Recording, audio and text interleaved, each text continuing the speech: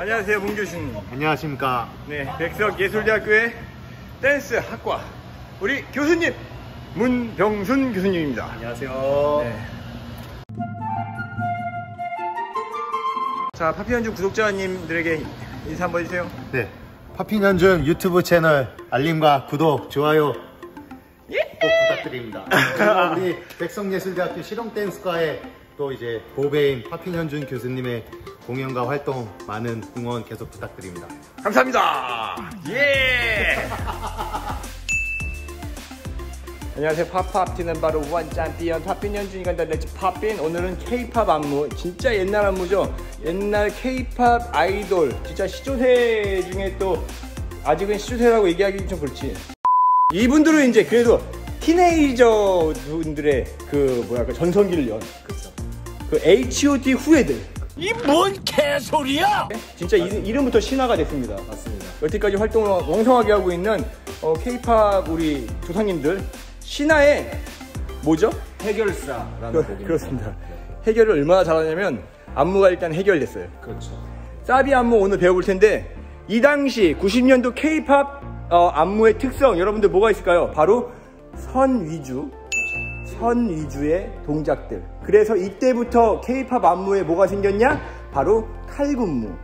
왜냐면 재즈가 갖고 있는 선 그리고 춤을 출 때 맞춰 출 때 나오는 그 단체 합 요게 이 바로 이 돌리고 찌르고 그리고 전체적으로 무빙이 왔다 갔다 하는 이런 동작들에서 나오는데 신화의 해결사 사비 안무가 아주 잘 표현했다고 네, 그래서 New Jack Swing을 기반으로 한 것 같아요. 아- 안에 보면 Roger Rabbit도 있고 그 New Jack Swing의 그런 up down 그리고 이제 박자를 쪼개는 방법들이 많은데 거기에 하나 더 얹혀진 게 바로 재즈의 기본인 위 아래 수직이 버티칼적인 이런 라인들 그리고 중간 중간에 groove적인 bounce가 어, 조금 들어가 있어요. 그러니까 전체적으로 보면 되게 올드스쿨 힙합이죠.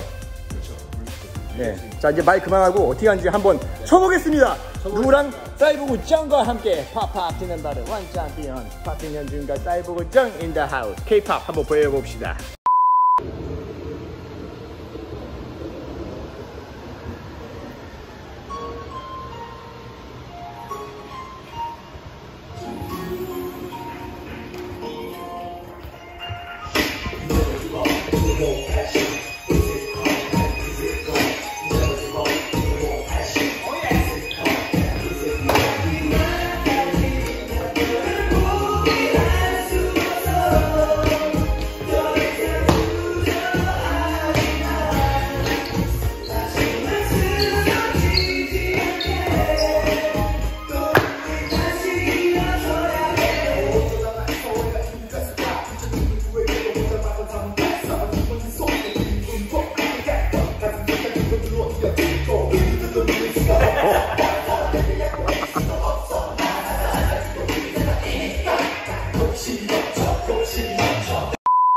신화가 98년도 5월달 데뷔라고 하시는데 동기 나와 동기네요.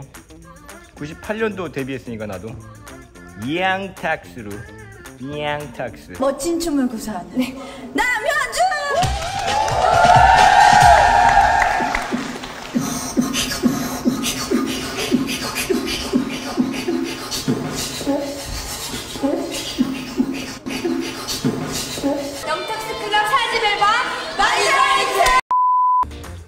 생 내 동기 친구들의 춤.